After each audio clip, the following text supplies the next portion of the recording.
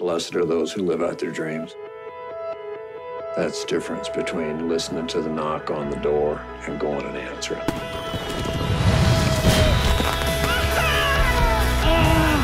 God, that was great. Oh,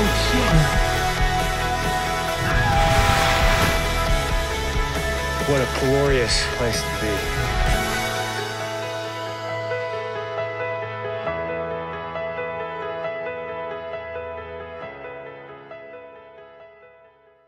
Death?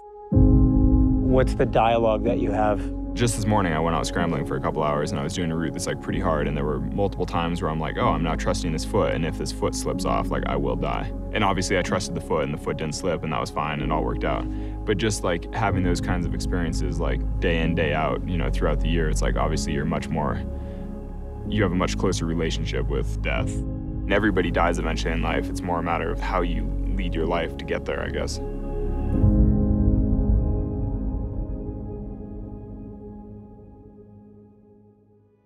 From time to time, we come across someone who can do something so remarkable that it defies belief, and in this case, seems to defy gravity. It's the story of Alex Honnold. Alex Honnold is the living definition of defying the odds and living beyond limits. He doesn't let minor details like, let's say, gravity get in the way of his pursuit of the next extreme adventure.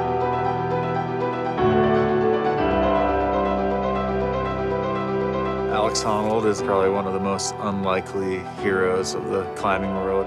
It's like the kind of guy just when his name is mentioned, I just get a big smile on my face. He's like this super goofy, like awesome dude that's just so happens to be the most badass climber ever. Alex climbs fast and light and often without ropes. Completely free solo. One fall, you die. I think he was probably the first person that got video doing these big wall free solos in a way that everybody that watches it, it's like they get vertigo or their palms sweat when they watch it. And that just made him famous. His ability to control his fear is like no one else in the climbing community. It's just a switch that he can flip. If he knows he can do something, he can do it, whether it's five feet off the ground or a thousand feet off the ground. Alex has the ability to take giant things and make them seem small and simple in only a way that geniuses can do. Sometimes when other climbers hear what you've been doing, they say it's unsustainable, which really is their code for, you know, you can't keep doing this and stay alive. I hope Alex doesn't die on the wall one day, but given the fact that that's what he does more than anything else, the chances are pretty high that, you know, something might happen someday. I think he's so aware of himself when he's climbing that I like to think that he's maybe the one that's going to pull it off. Why do you have to add that extra challenge? Why do you need the higher stakes? Well, I guess like the short answer is we up the ante a little bit, you just get more from the experience. I just hope that if I do die in some accident someday, it's not just like, oh, he made all these horrible decisions, like what a terrible mistake. Because it's like, no, I mean, I understand that there are risks involved, but the hundreds of days of joy that I get going out and being in the mountains, like I'm willing to take those tiny chances.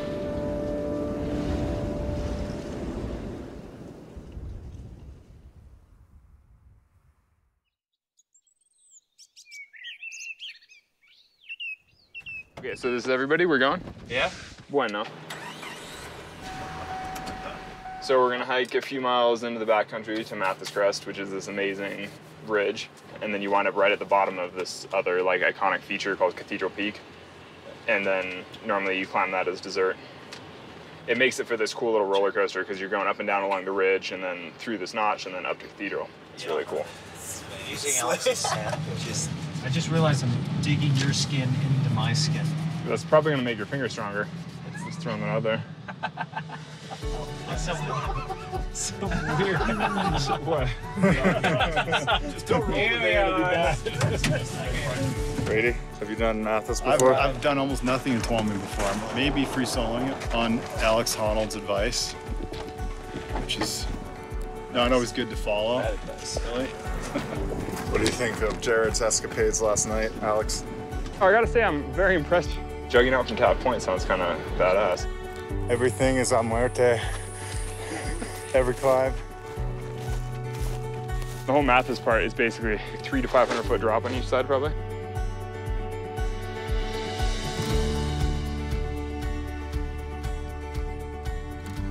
One of our teammates is really lagging, so we're gonna have to cut him with a knife. This is gonna be No. brutal and No, no, no, we're not gonna cut him. Like, oh shit, you have a knife? What's that for? We're gonna cut him with a knife. Oh, no, I don't need to hold knives. I was just- She's dangerous. How are you feeling? Because, okay, so you're good? Yeah. Because from here, we're cutting like cross country, like to the other side of that mountain. Because once we get to there, then it's like a point to point back to here. But like, Sure. if you're good, we're good. If I got rid of some of the weight in my bag, but I'm just gonna drink the water in a second. I mean, it's a tough thing to do. He's embarrassed. I mean, Alex said we should probably cut you. But it's Uh, That's that's not. yeah, there's a million paths up the mountain, you know.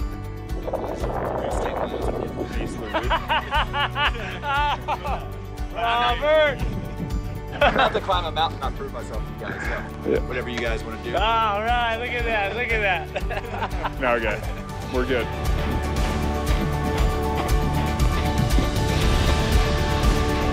So right over here, we're looking at the ridge. look at that.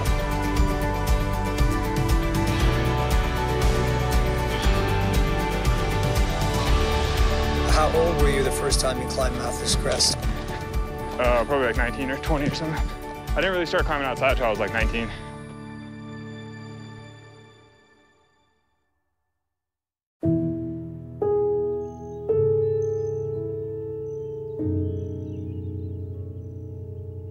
I started camping here as a kid with family camping trips. Some of my early memories are having cookies and milk with my dad at the Wawona Tunnel overlook. He'd bust out the cooler with some cold milk and we'd have cookies and you know, we'd enjoy the view with Bridal Falls and El Cap. My dad had spent thousands of hours belaying me in the gym. He was younger, he was like a big hiker. He was way into the mountains around Tahoe and everything. He would go to the climbing gym with me and just belay and belay. And he would climb a little bit just to break up my climbing, you know, so I could rest. And he would just like climb a route or two. But he would just keep belaying, keep belaying. I was never like a prodigy the way some climbers have been. He saw that I loved climbing, and so he would just take me climbing, and I climbed a lot. I'm bummed that dad hasn't gotten to see what my life has become because he would be so stoked on the climbing and all the adventures and the expeditions, and when I get to go overseas. He died after my first year at university.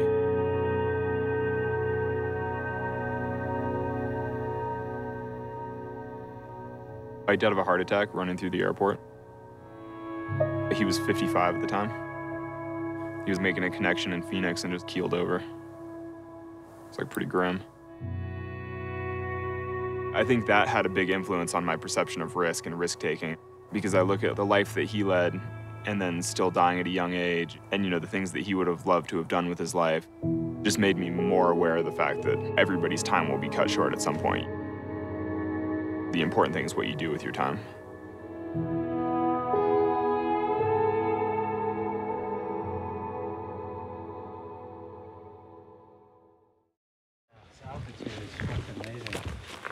Nice. Took us two hours to the base. Nice work. Thank you. You're officially a champion. Thank you, thank you, thank you. Well, at least until you shit yourself on the first bitch. 5.0 in exactly two hours. I'm gonna That's make you legit. proud, motherfucker. Heck yeah. No, no, so Make you far. proud. I'm impressed. We're about to climb Matthes Crest, which is a glorious, beautiful route.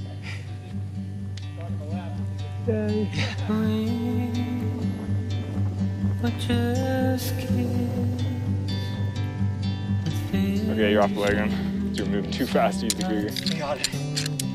So how about you untie and I'll take the rope for now, and then we can just solo next to each other. Yeah, it's Um, nice to get a little rhythm going. yeah, I mean, look how cool this is. As soon as I took off the rope, it was like, oh, now we can play. Okay, so it's Alex's fault, Mom. Thank you, Alex. There's some solitude, there's some freedom, and it certainly raised the stakes and gave me a more fulfilling experience. Oh shit, we're jogging, huh? As soon as you guys all walked away, James and, and Rob and I were like, pretty impressive, like how hard he tries, the intensity and the effort. You know, because like I've been climbing so long, I sort of get complacent a little bit. I give just enough effort to do what I'm trying to do. You know, I don't just like go to the death all the time. You just try so hard because it's all fresh for you. It's you know you have that enthusiasm coming to a new sport. You're learning really quickly. You're improving really quickly, and it's all very exciting. It's nice to see that passion, you know.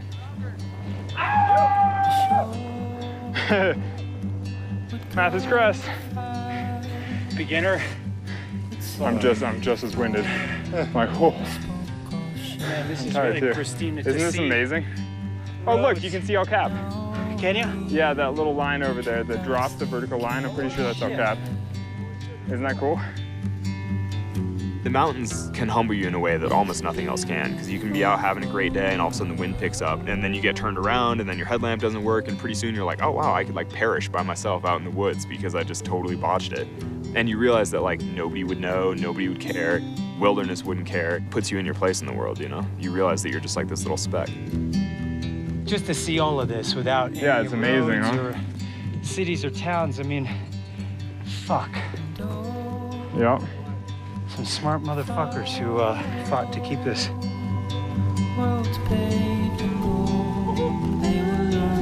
How's the team doing? Team's doing awesome. We're freaking cruising this thing, and this is like super fun.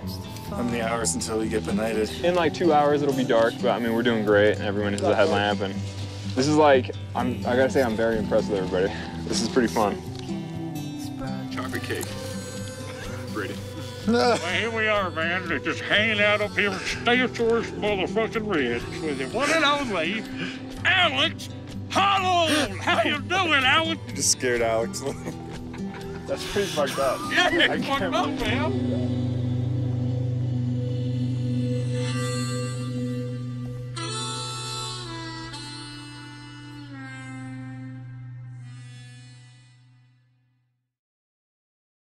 What would you say to your father if he walked up and sat next to you? I don't know, it'd be a very long conversation. I mean, there'd be a lot of catching up to do. I'd probably say thank you for, you know, supporting me as a kid and getting me outdoors and like giving me these experiences, allowing me to blossom into this lifestyle. I doubt I'll ever stop doing the easy soloing in the mountains, the scrambling on ridges. I'll probably never stop that. Anything I've learned as a person is like entwined with climbing. And certainly becoming a professional climber has seriously changed me. Typical human beings, it's never enough. We are going to climb Cathedral Peak because we haven't had enough. You know, free soloing with Alex just isn't enough. Alex, if you believe in me, anything's possible.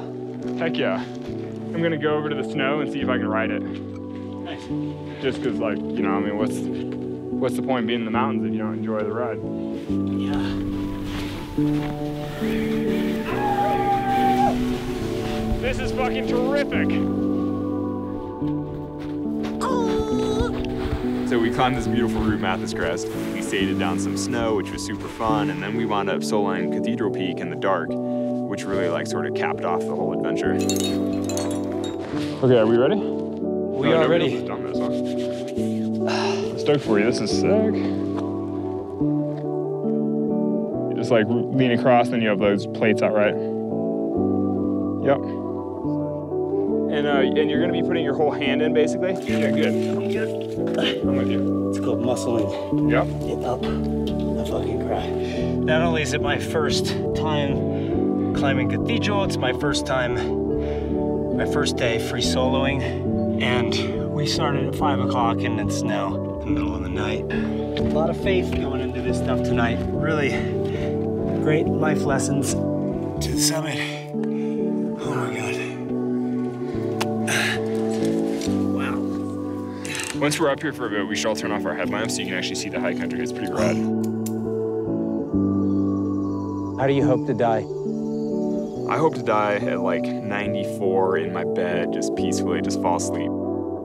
Yeah, surrounded by grandkids or whatever, you know? Yeah. We'll see. That's the ideal. I'm not saying that's the most likely scenario. So when your son comes to you and says, Dad, I'm gonna free solo El Cap, what do you say? I'd say you better be freaking training, you know? I hope you're really fit. Come on, look at the elbow. Look at the elbow. That's how you make it hit. Yeah, one more. Look at the elbow. Oh, one more. Wait, one more. Awfully vigorous for the middle of the night. nice job, dude. Oh, sick.